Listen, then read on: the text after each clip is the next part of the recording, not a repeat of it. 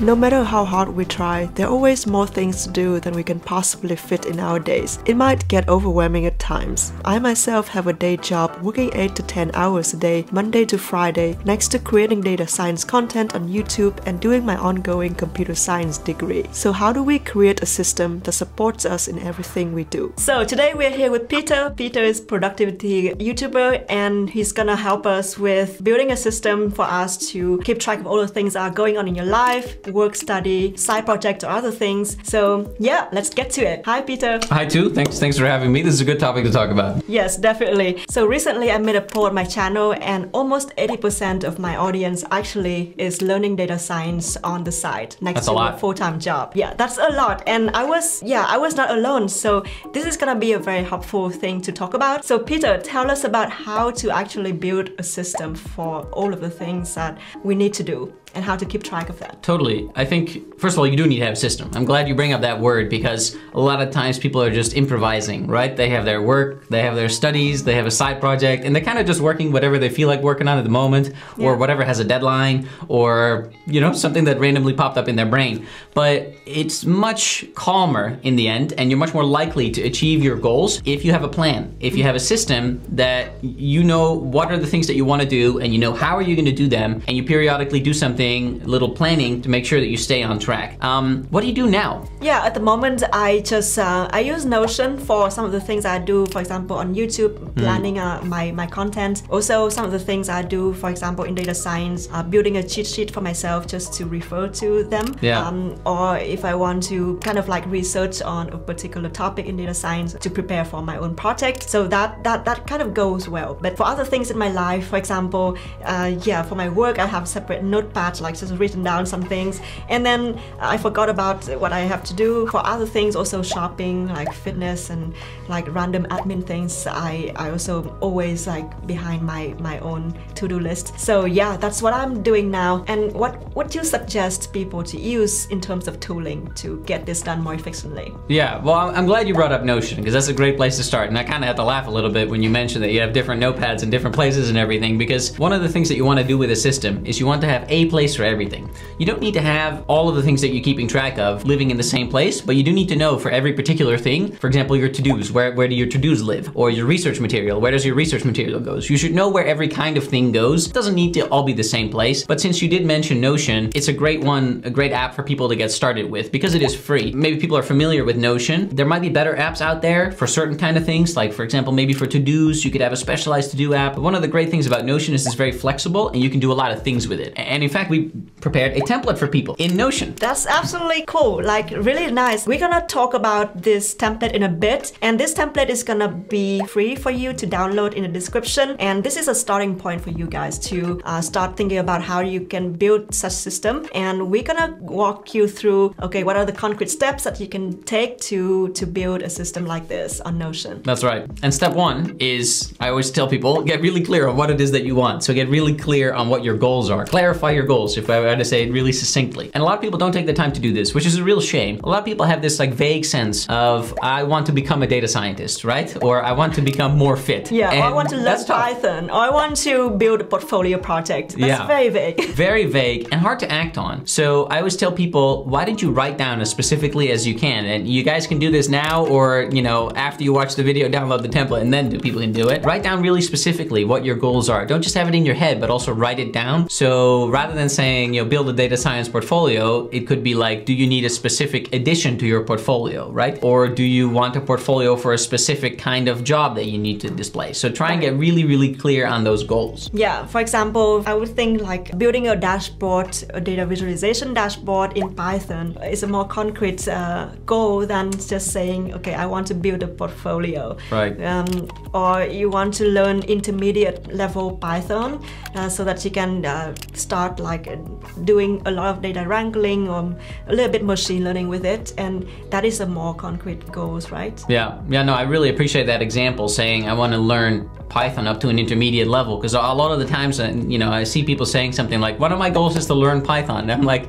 that's great. That's like saying like, I want to learn Japanese. Okay, but like, do you want to learn to speak Japanese or do you want to learn to write it? Yeah. what do you want? And those things are different. And if, if you have in mind very specifically what your goal is, it'll be easier to figure out what you need to do about it. And, and that, that's actually step number two is to figure out what are the action steps? What, what are you actually gonna do about it? So let's say someone has the goal of wanting to get a job at a top company, top software company in, in data science. What might be some action steps that people could take? Um, yeah, I, I think it's, a, it's quite a, like an ambitious goal and it boils down to so many different things, I think. Um, so the action steps could be firstly that you have a, like a very nice CV and a resume that you can send out to a number of recruiters, yeah. I guess. And to build uh, like a CV like that, you actually need to put in the work to maybe create your own portfolio that's convincing enough for the recruiter. Yeah. Maybe you also need to connect with some people that you know in your network, for example, to, to let people know that you are looking for a job. Yeah, so it's just a lot of different things, and I think a lot of things that are probably not not in our control. And how, how do you actually uh, connect the goal with the action, and how do you actually keep track of the actions? Yeah, I'm really glad you brought that up because often, if people do take the time to write down a list of their goals, which you all should be doing in this, you know, Notion template or somewhere else, right? That's not enough because just having goals doesn't mean you're going to achieve your goals, right? You need to take action. And so by coming up with some of the action steps, like the examples that you just gave, right? Making a really nice resume, maybe sending your resume off to some potential recruiters in your field to get feedback from them. Those are actionable things that you can do. And what you really want to do is for each goal that you have, write down maybe one, two, three, you can come up with more, but let's say one to three action steps that are gonna help you reach that goal. And you wanna kind of connect those to the goals, right? Say, I'm doing these actions to achieve this goal that I have. I also wanna make sure people think about goals in different parts of their life, by the way, because we're, we're talking about work right now, but one of, one of the problems you're saying is people have a lot of stuff going on, right? Yeah, that's absolutely my problem. When I set a goal for myself, for example, get a new data scientist job, for example, which is probably what I'm gonna do in the next year.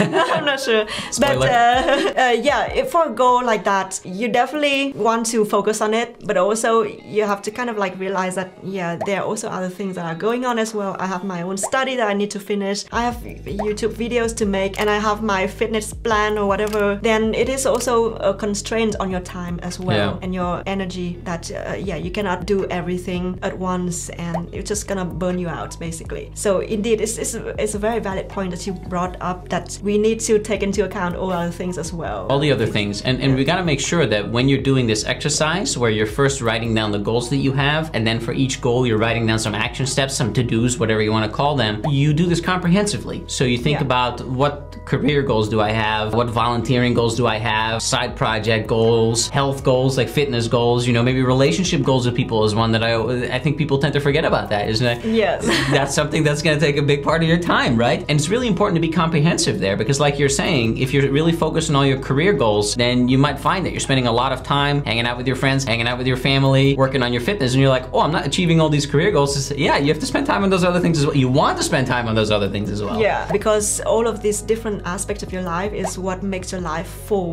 right you you, you don't want to um, like just fall off your, your wagon for a specific thing and then you kind of like ignore your health um, and ignore your relationships that is a very big risk when you're pursuing something a little bit more ambitious Yeah, so once you have a sense of all of these different things that you want to do in the different parts of your life, you really want to make sure you write that all down. And so that's where this Notion template comes in that we've made for people. They can write down their goals, they can write down for each goal, and they can connect this. What are the action steps? They can do this for all the different parts of their lives. And so they'll have like one place where we have listed what, what do we want and how are we going to achieve it, right? But there's a third step that people need to work on because you were mentioning this earlier. What often happens when people set their goals? Yeah, I'll just forget about it after one or two weeks. I'll just follow the, the goal. For example, read a chapter on hands-on scikit-learn and TensorFlow book. And then I just realized that, okay, two months has passed and I haven't really actually done it. I actually finished it. so uh, yes, this is a very, very common thing that I think a lot of people also brought up on, on the comment section on my channel that, okay, I started learning data science six months ago. And for whatever reason, uh, now I'm starting over again. And I wonder why it is the case. Is this because, yeah, we, we haven't really kind of tried to stick to the plan, or is it because of some other things that just carry you away? So, with this problem that people commonly have, and I definitely have as well, what is the solution to to keep us on track? What yeah. do you think? You really need to stay in touch with your goals. Your goals are another word to use is intentions, right? What you intend to do. For a lot of people, they get motivated. They get a burst of motivation and they're like, that's great. I'm going to write down all my goals. That sounds, uh, you're nodding. This sounds familiar to you. Uh, So you're going to write down all your Very goals. ambitious. but that, that's great. But that's great, right? And so you have this enormous list of goals and you have this enormous list of actions that you're gonna take to achieve your goals, and then life gets in the way, you get busy at work, and two weeks later you've completely forgotten about it. So we wanna make sure that we avoid this. And the way to avoid this is with what I call a weekly review. You can also call it weekly review and planning. Take a little bit of time once a week. I often recommend people like do it on like a Sunday, for example. For most people, Sunday is a great time to do it. And this takes maybe half an hour. You, you can do it as fast as like 10 minutes if you really wanted to. Sometimes it takes a little bit longer if you've not done it in a while. But for me, usually I would say like maybe 20 to 30 minutes for me. You sit down and you literally just ask yourself, hey, what are all the things that people have communicated with me about this week that I need to do. So someone sent you a message on Slack or Teams, or someone sent you an email and you need to do something. Go through all your inboxes and like write down all the things that you need to do, right? Then take a look at your wherever you're keeping your list of to-dos and just make sure that that's all up to date. Maybe you already did some of the things, just cross them off. Maybe there's new things that you come up with you still need to do, write them down. Then Yeah. take a look at what's coming up this week. What do I need to do this week? What are like deadlines? And Yeah. make a little plan. Yeah, that, that's a very good point. And and I try to do that at some point uh, in, in my own in my own system as well. But then I the thing is I didn't have time to make the review. Yeah. And what do you do then? I, I just felt so bad about that because I missed this review. Yeah. And the whole week after I kind of feel like I'm not ready for this. I don't have a plan yet because I haven't figured out uh, if I'm still on track or Right. whatever else I have to do. So yeah, how do you do that uh, when you don't actually have enough time to do a weekly review? Yeah, I think a lot of people feel like doing a weekly review is a good thing. I should be doing this. I should be taking a look at, you know, what's coming up, what have I already accomplished, you know, make sure everything is up to date, but they don't get around to it. Um, it's like with building any habit, you can just start really, really small. So I was I was just telling you earlier, like with my meditation ha- habit, I try to meditate for 30 minutes a day, but it doesn't always happen. It usually happens, but it doesn't always happen. So sometimes it's 9 p.m. and I'm like, oh, I haven't meditated yet today.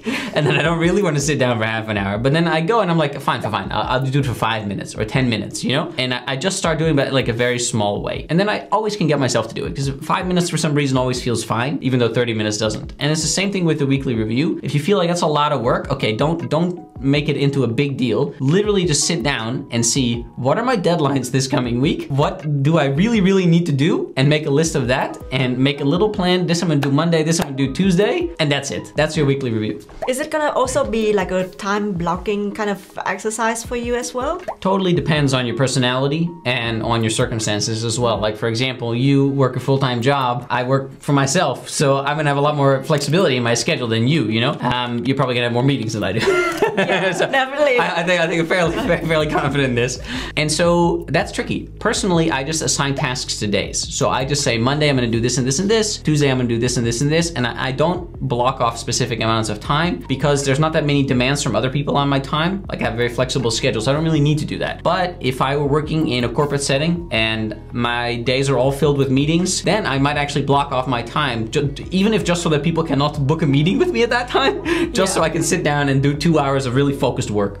Yeah, also for people who are very good with uh, good at procrastinating things like me. yeah, yeah, yeah, yeah. Then definitely it helps to be able to just see it on my calendar Right. and then figure out okay then I have to actually do this or I will have to move it uh, like further if I don't get around to this now. Yeah. So I have this uh, very serious issue with procrastination. Right. So sometimes for me, like setting the goals and also having this kind of like deadline for myself is really, really good. And how do you think about also putting some kind of deadlines for yourself with like timelines, Yeah. so to speak, for your goals? very helpful for some people, stressful for other people. I definitely have friends who are telling me like, Peter, come to me and tell me I need to do this work by Wednesday, you know, otherwise like whatever.